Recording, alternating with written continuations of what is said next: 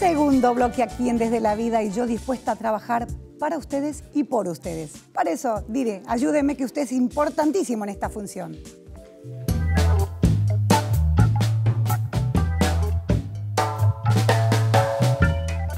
Buen día, doctora. Soy Alicia de San Isidro.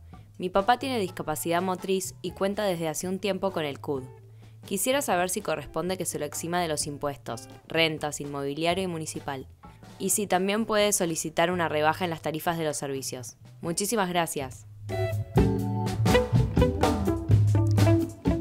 Bueno, qué bueno, qué bueno, Alicia. Voy a hablar de dos temas fundamentales. Hoy que estamos con el bolsillo un poquito apretado y flaquito y tenemos que saber que el certificado de discapacidad, seamos nosotros los titulares o los usufructuarios o los comodatarios de una vivienda en la provincia de Buenos Aires, el municipio de San Isidro está en la provincia de Buenos Aires, tiene gravámenes de, de, distinto tenor. Por un lado tenemos los provinciales, el impuesto inmobiliario, que lo graba quién, quién lo recauda. ARBA, ustedes que están en la provincia saben que es un ente recaudador importante y que para lograr tener una exención de este impuesto inmobiliario, hoy tenemos dos requisitos que tener importantemente en cuenta. Primero, no solamente acreditar nuestra condición de persona con discapacidad con el CUD vigente, como siempre hablamos, sino tenemos distintas opciones, y digo opciones porque hay la legislación fiscal de la provincia de Buenos Aires contempla los jubilados, los pensionados, cuando sean titulares de una vivienda única, vivienda de muy baja evaluación fiscal, en ese caso tienen que contar con un código que se llama CIT, código de eh, constancia de identificación tributaria, que por supuesto la pueden gestionar ante cualquier agencia de recaudación, ante cualquier ARBA de la provincia.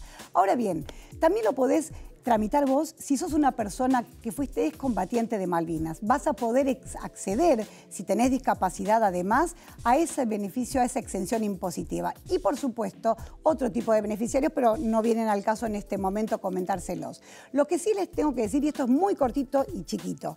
Primero, si la evaluación fiscal del inmueble es muy baja, es inferior al 17 mil eh, pesos anuales en este periodo del 2018, perdón, lo que hay que contar es hacer una, meterse en la página de ARBA y hacer la solicitud y no hace falta nada más que eh, poner los datos de la partida, los datos del titular o de la persona con discapacidad que tengamos a cargo.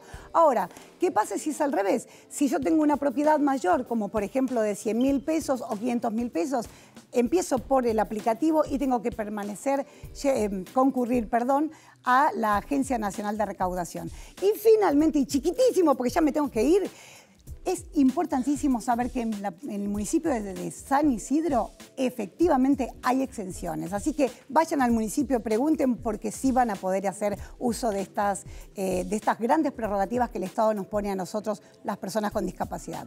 Y yo los dejo en absoluta buena compañía. Mi querido Fena. Bueno, yo te debería decir acá, gracias doctora.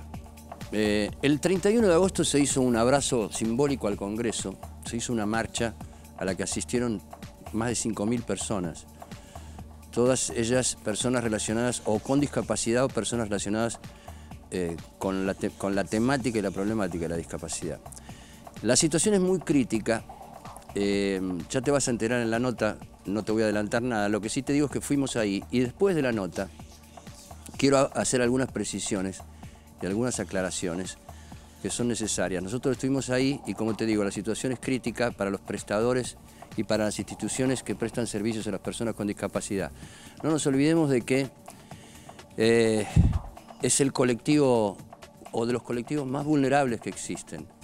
Y en esta situación de crisis, que cada vez está peor, ellos la están pagando y muy caro. Así que te pido que veas la nota y después te voy a comentar algunas precisiones. Vamos a ver la nota.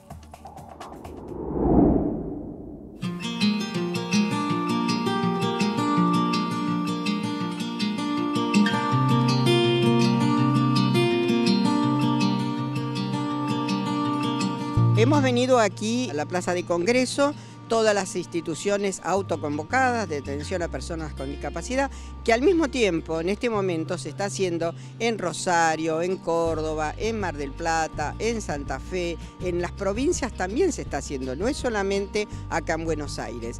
Nosotros hemos venido aquí en referencia al reclamo que estamos haciendo, que tiene que ver con el atraso en los pagos, del programa Incluir Salud en las instituciones de personas con discapacidad y el aumento de aranceles.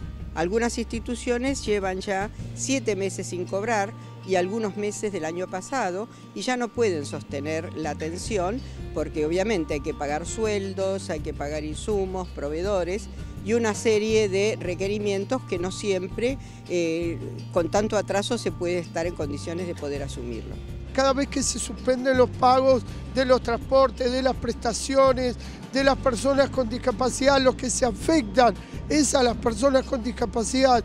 Primero, se recortaron todos los servicios. ¿Qué quiere decir? Que dejaron de pagar a los pequeños prestadores, esos prestadores que son los que hacen rehabilitación, los que hacen asistentes terapéuticos, los que hacen maestros integradores, los que están directamente ligados a la persona con discapacidad. Y esto es grave, no solamente acá en la provincia de Buenos Aires o en la capital federal, en el interior esto se agrava cada vez más. Vinimos desde Mendoza, venimos a reclamar por el ajuste en discapacidad, los pagos atrasadísimos de incluir salud y de la mayoría de las obras sociales que tienen que hacerse cargo de las prestaciones de los chicos con discapacidad. Se hace insostenible poder mantener los sueldos, la calidad de servicio, los talleres, las terapias la comida, los chicos desayunan, almuerzan y toman la media tarde en la institución. Y bueno, mucha tristeza porque los chicos un día de terapia que pierden es un montón para ellos en su tratamiento. Como ha dicho la señora acá, mi compañera, nosotros eh, venimos a reclamar un derecho que ya viene rezagado de hace tiempo y donde las instituciones no están siendo escuchadas. Lo que quisimos fue hacer esto, claramente mostrar lo que está sucediendo, porque lamentablemente a algunos les parece que eh, se puede sostener y que no estaba pasando mucho. Por eso quisimos, les invitamos a poder hacer presente, sabiendo siempre esto, que lo que nosotros mostremos es lo que tantas personas en el país no, a veces no pueden mostrar, pero que la necesidad también pasa por gente que depende de estos recursos para su medicación, para su rehabilitación, para atenderse médicamente en las provincias. Sabemos de las dificultades graves que hay, pero no podemos dejar de mostrar lo que está pasando.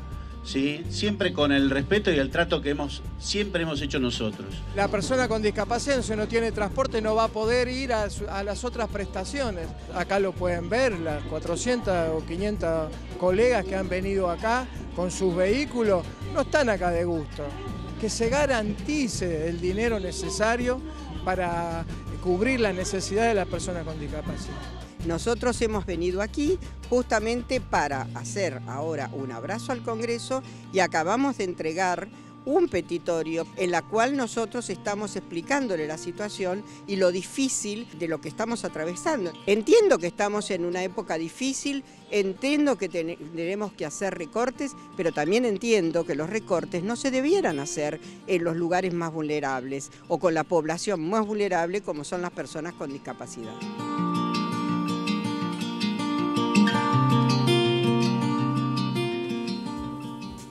Bueno, esta última frase es la, que, es la que yo quiero hacer hincapié. Los recortes no se pueden hacer sobre las personas más vulnerables.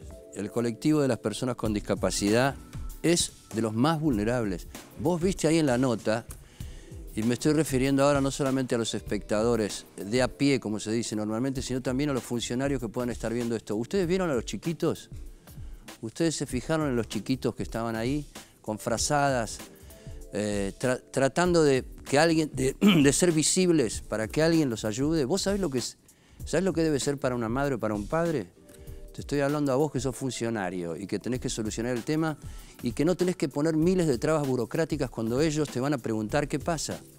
Y les explican con tecnicismos y con una maraña de cosas burocráticas. Son chiquitos, ahí había muchos chicos, muchos chicos. Si los chicos en situación de pobreza son chicos vulnerables, los chicos en situación de pobreza con discapacidad, imagínate lo vulnerables que son. Entonces los recortes no se pueden hacer sobre esas personas, sobre esos colectivos. No se pueden hacer sobre esos colectivos. Esa columna no tiene que estar tachada. Y lo digo siempre, no son números, son personas. No son números, son personas. Ahora, para hacer también justicia y para tener la cosa precisa, esta marcha fue el 31 de agosto. Hoy es, nosotros estamos grabando este programa hoy que es 10 de septiembre, es lunes 10 de septiembre y lo estamos grabando el programa. Vos lo estás viendo el sábado 15. O sea, vos estás hoy viéndolo el sábado 15. A esta altura, te voy a contar cómo está la cosa. Al Cotolengo Don Orione y a otras instituciones del país les abonaron abril y mayo, lo que permitió que paguen sueldos. Eso es un avance. Falta abonar el resto de los meses hasta la fecha, acuérdate que pagaron abril y mayo, abonar el resto de los meses hasta la fecha y actualizar aranceles para cubrir las paritarias del 23% que son las que se habían acordado. ¿eh? Por ejemplo, a TAE Cádiz, que son nuestros amigos que nos ayudan a transportar a todos los integrantes del Rincón de Arte, que son los choferes que transportan a personas con discapacidad, ellos todavía no cobraron, no tienen ninguna solución. Todas esas combis que viste ahí alrededor del Congreso son los que transportan, son los transportistas que llevan a personas con discapacidad. En muchos casos en muchos, te diría el 80, 70% de los casos, estas personas no se pueden movilizar solas. Si no tienen algún transporte especializado que los lleve, no pueden subirse al colectivo o subirse al tren o al subte e irse, ¿entendés? Hay que, hay que tomar en cuenta todo esto que estoy diciendo. La Agencia Nacional de Discapacidad se comprometió a solucionar todo al día 15 de octubre. Es decir, adentro de un mes lo voy a repetir esto. La Agencia Nacional de Discapacidad se comprometió a solucionar todo el 15 de octubre. Este espacio nosotros lo tenemos abierto para que vengan tanto las instituciones y los prestadores como las autoridades o los funcionarios que quieran respondernos. Pero por favor, pero por favor, tengan en cuenta la última frase que dijo ella en la nota. No se puede hacer el recorte sobre los colectivos más vulnerables que tenemos, porque se mueren directamente, ¿entendés?